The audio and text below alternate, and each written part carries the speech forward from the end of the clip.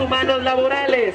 Por favor, encabezar la marcha. Mujeres organizadas marcharon la mañana de este domingo 7 de marzo para exigir la reivindicación de los derechos de las mujeres en el marco de la conmemoración del Día Internacional de la Mujer. Estamos feministas salvadoreñas de diferentes colectivas y diferentes expresiones. Estamos ecofeministas, transfeministas, estamos feministas que luchamos por el derecho a decidir de las mujeres, estamos artistas, defensoras de derechos humanos, periodistas, sindicalistas, obreras, mujeres con discapacidad, mujeres que estamos resistiendo, lesbos feministas y estamos aquí para hacer una denuncia de las violaciones sistemáticas de derechos humanos que enfrentamos, de los retrocesos democráticos que hay en nuestro país y también estamos aquí para exigir justicia por cada mujer que el sistema patriarcal nos ha arrebatado. El objetivo de la marcha era denunciar todas aquellas violaciones que se realizan en torno a las mujeres de El Salvador, entre otras exigencias relacionadas con los derechos de las mujeres. Una de las violaciones que se están denunciando en este marco tiene que ver con los abusos medioambientales,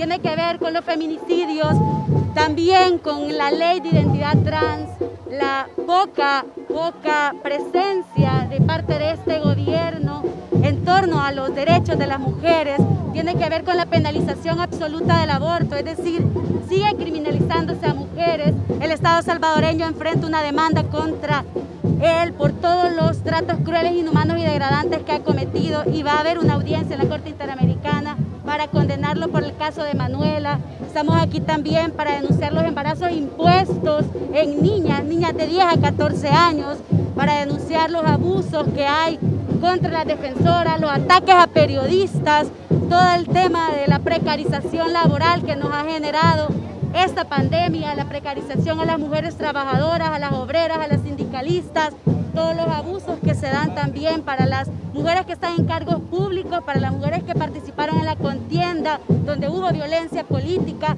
Estamos para denunciar la desmemoria de este gobierno que está planteando básicamente que los acuerdos de paz son una farsa, dejando de lado toda una historia de dolor, sufrimiento y la necesidad de sanación que tenemos como país. A esta marcha también se unieron las mujeres que forman parte de la Asociación Mujeres Ciegas, quienes a la misma vez tenían sus propias exigencias. En este día tan importante que conmemoramos el Día Internacional de la Mujer, la.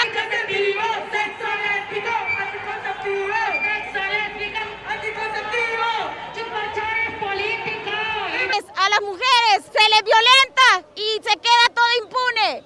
¿Qué es lo que hacen? Trasladar de